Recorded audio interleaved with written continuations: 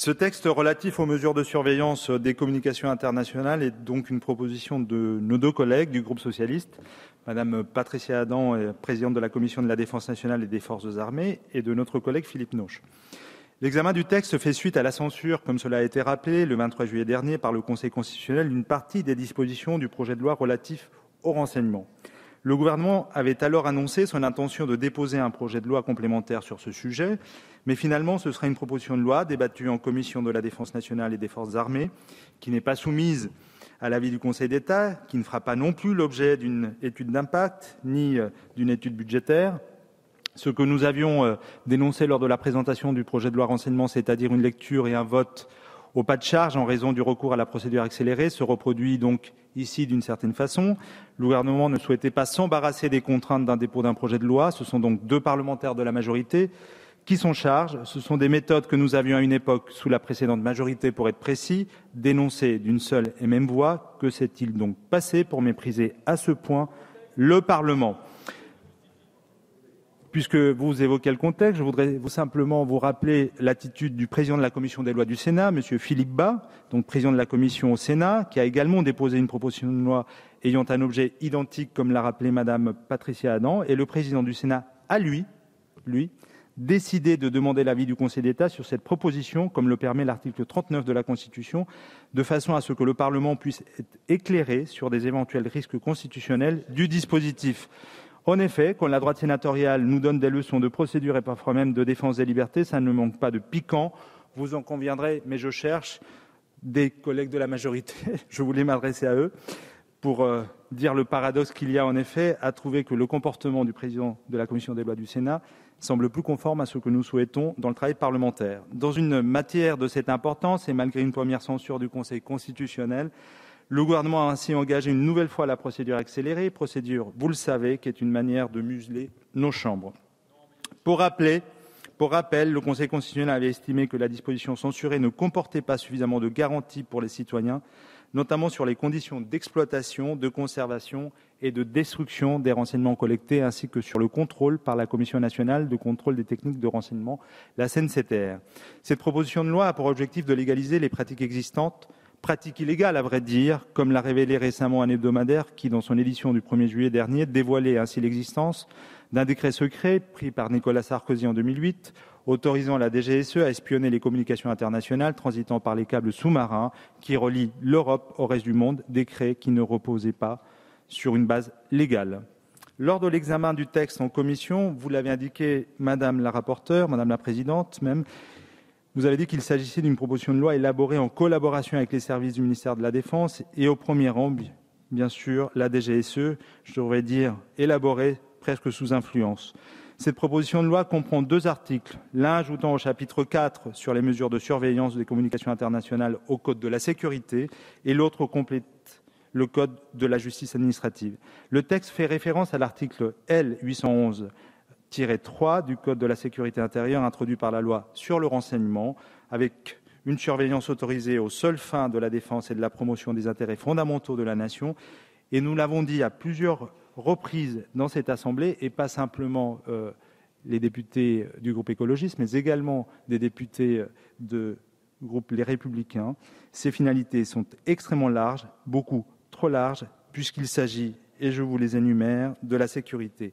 nationale, des intérêts essentiels de la politique étrangère, l'exécution des engagements européens et internationaux de la France, des intérêts économiques et scientifiques essentiels de la France, de la prévention du terrorisme, de la prévention de la constitution et du maintien du groupement dissous en application de l'article L 221-1, de la prévention de la criminalité, de la délinquance organisée, de la prévention des violences collectives de nature à porter gravement atteinte à la paix publique. Je l'ai déjà dit dans cet hémicycle, pour mieux en illustrer la portée, ces dispositions permettent la mise sous surveillance d'opposants ayant choisi notre pays comme terre d'asile, ou tout simplement, sous couvert de défense de notre économie, l'espionnage industriel, c'est-à-dire, dans ce dernier cas, la mobilisation des pouvoirs publics pour la défense d'intérêts en grande partie privés. Ce texte prévoit également la possibilité pour les services de renseignement de collecter massivement toutes les données sur les systèmes de communication désignés par le Premier ministre il revient ainsi au seul exécutif de décider quels systèmes de communication seront visés sans que les citoyens puissent avoir une vision claire des techniques pouvant être mises en œuvre par les services de renseignement et sans qu'une limitation de durée ne soit vraiment prévue. Toutes les données transitant sur ces systèmes de communication seront collectées et les autorisations données par le Premier ministre ne porteront que sur l'exploitation de ces données interceptées. Ainsi, l'autorisation d'un an renouvelable pour l'exploitation non individualisée des données de connexion sera sans aucun ciblage et sans aucun contrôle a priori. Par ailleurs, cette autorisation sera d'une durée de quatre mois renouvelable pour les communications ou les données de connexion prenant de zones géographiques pouvant ainsi viser toute l'Afrique, toute l'Amérique du Nord, toute l'Amérique du Sud, ou bien concerner euh, toute organisation ou encore des groupes de personnes définis.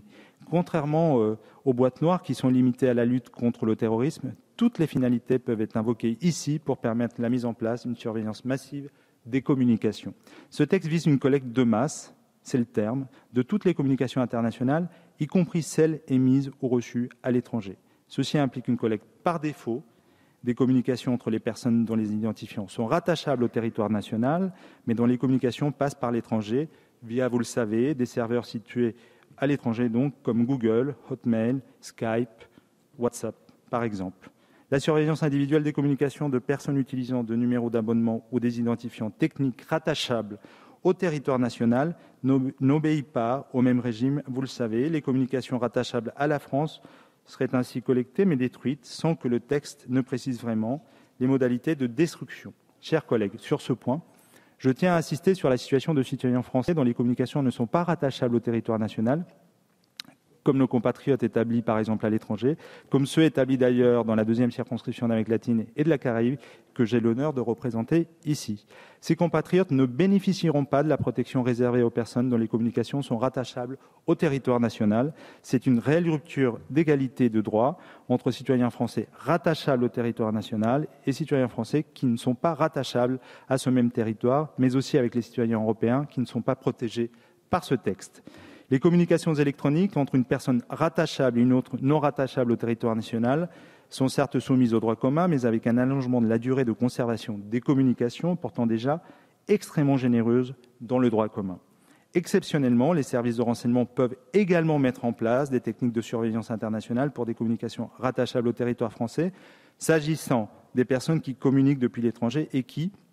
soit faisaient l'objet d'une autorisation d'interception de sécurité en application de l'article L 852-1, date à laquelle elles ont quitté le territoire national, soit qui sont identifiés comme représentant une menace au regard des intérêts fondamentaux de la nation, mentionné à l'article L 811-3, comme nous l'avons évoqué au début de mon intervention. Le Premier ministre peut ainsi décider seul d'une mesure de surveillance s'il estime qu'une personne présente une menace au regard des intérêts fondamentaux de la nation, et ceci sans aucun contrôle. Autre point important, les communications des personnes soumises au secret professionnel. Vous le savez, la loi sur le renseignement apporte une protection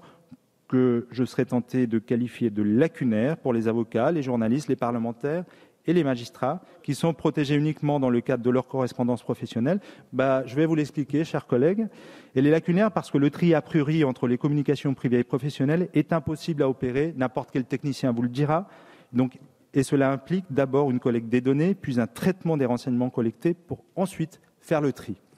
De plus, ne peuvent faire l'objet d'une surveillance individuelle de leur communication que les seules personnes exerçant en France un mandat ou une profession mentionnée à l'article L 821-7, c'est-à-dire avocat, journaliste, parlementaire, magistrat, nous venons d'en parler, et ceci à raison de l'exercice du mandat ou de la profession concernée. Ainsi, les journalistes, encore les avocats européens ou a fortiori ceux qui exercent en dehors de l'Union européenne, doivent faire l'objet d'une surveillance individualisée. Ils ne bénéficient donc pas des mêmes protections. C'est en cela que la loi est lacunaire. Enfin, cette proposition de loi autorisera les services de renseignement à prendre automatiquement dans leur système de collecte de données, de connexion, métadonnées et contenus de communication dans le, dans le monde entier, sans avis préalable de la Commission de contrôle des techniques de renseignement. En effet, l'avis de la CNCTR n'étant pas nécessaire à la mise en place des techniques de surveillance internationale, aucun contrôle a priori ne sera opéré. Il faudra se contenter de la bonne volonté des services. Encore une fois, notre souci commun est d'assurer la sécurité de nos citoyens et d'éviter la mise en péril de nos principes démocratiques avec le risque d'une surveillance massive des communications internationales, indépendamment des menaces possibles. Chers collègues, nous avons été nombreux à nous émouvoir l'unition de l'opinion publique internationale devant les révélations de Snowden. Ce que nous mettons en place, texte après texte, c'est cette surveillance de masse que nous dénoncions pourtant au moment de la publication de ces révélations. Merci, Monsieur Coronado. La parole est à Madame Gilda